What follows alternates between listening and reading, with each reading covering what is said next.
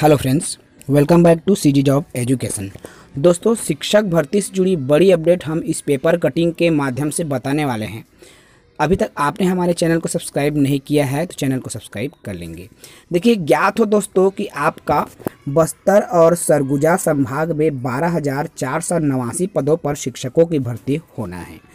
तो विभाग के अधिकारियों का कहना है दोस्तों कि राजपत्र में प्रकाशन होते ही शुरू होगी शिक्षक भर्ती प्रक्रिया, अर्थात राजपत्र में प्रकाशन की जो प्रक्रिया है, वो चल रही है दोस्तों, ठीक जैसे ही राजपत्र में प्रकाशित हो जाती है तो आपका शिक्षक भर्ती का जो नोटिफिकेशन है, जारी कर दिया जाएगा।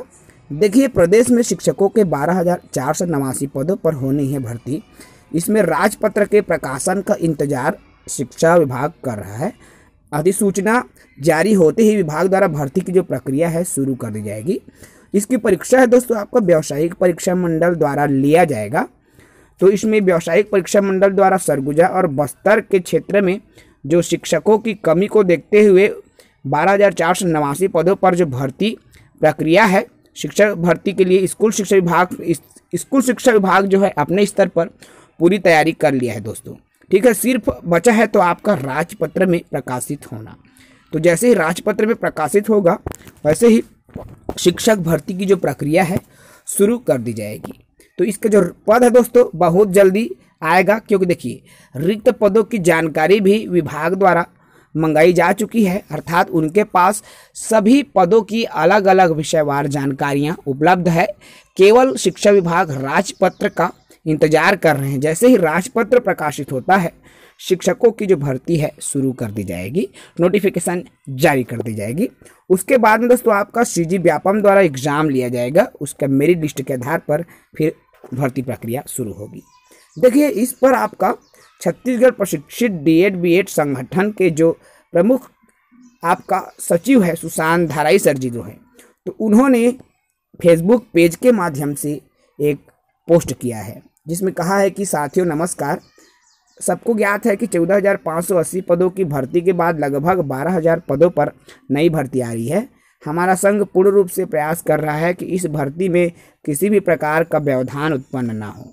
ठीक है? अर्थात, वर्तमान में जो भर्ती आने वाली है, उसमें बहुत सारी समस्याएँ हो सकती है, चाहे वह आरक्षण के मुद्दे को लेकर हो या नियमों में फेरबदल को लेकर। तो इसी स्थिति को देखते हुए जो संघ चाहता है दोस्तों, कि भर्ती में किसी भी प्रकार का व्यवधान उत्पन्न न हो, इसके लिए डीपीआई में पिछले शुक्रवार हमारे अधिकारियों से मुलाकात हुई, जिसमें हमने आग्रह किया कि किसी भी प्रकार का संशय की स्थिति या किस कोई नियम कानून में ना हो, जैसे भर्ती में था, ताकि कोई कोर्ट ना जाए एवं स्टे न लगे। अर्थात नियम में कभी ऐसी स्थिति ना आए कि नियम सबको समझ में नहीं आ रहा है। ऐसी स्थिति में कोई भी कोर्ट चला जाता है, किसी भी नियम के अनदेखी हो जाती है, ऐसा सिचुएशन ना आए। इसलिए इन्होंने डीपीआई के अधिकारियों से बातचीत किया है और क्लियर कर दिया है कि सभी चीज़ें क्लियर हो, ताकि किसी भी को, किसी भी कैंडिडेट को उस पर कोई समस्या ना हो और भर्ती जल्द से जल्द पूरा हो सके।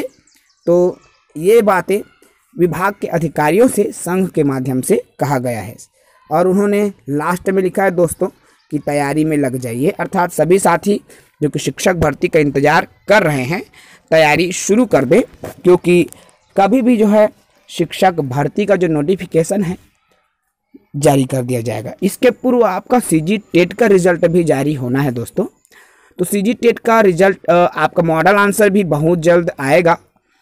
मॉडल आंसर आप व्यापम के ऑफिशियल साइट से आपको देखने को मिल सा, मिल जाएगा। इस सप्ताह आने की जो संभावनाएँ हैं दोस्तों, व्यापम के साइड में बन रही है, अर्थात इस माह इस सप्ताह अर्थात जो सितंबर माह के अंतिम सप्ताह में आपका मॉडल आंसर जारी किया जा सकता है विभाग के द्वारा, व्यापम के द्वारा।